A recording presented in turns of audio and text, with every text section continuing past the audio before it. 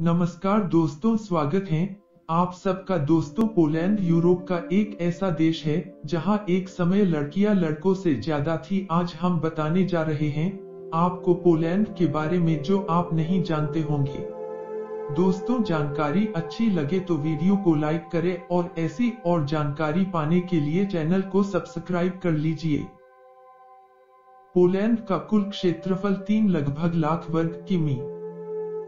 जिससे ये दुनिया का उनहत्तरवां व यूरोप का नौवां विशालतम राष्ट्र बन जाता है।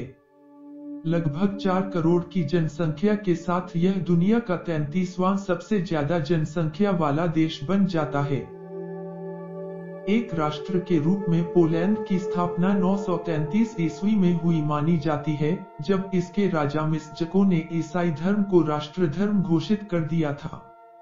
पोलैंड की नदियों को पूरा काल से परिवहन कार्य में इस्तेमाल किया जाता रहा है। पोलैंड का तकरीबन 28 परसेंट भूभाग जंगलों से ढंका है।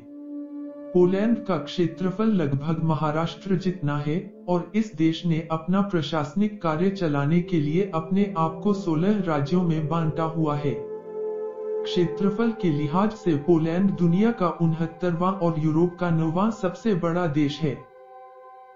दूसरे विश्व युद्ध की शुरुआत हिटलर के पोलैंड पर हमला करने के बाद ही हुई थी।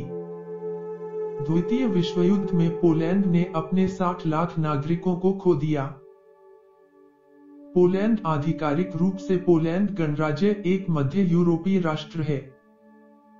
दोस्तों, वीडियो कैसे लगी हमें नीचे कमेंट करके बताएँ और चैनल को सब्सक्राइब कर लीजिए।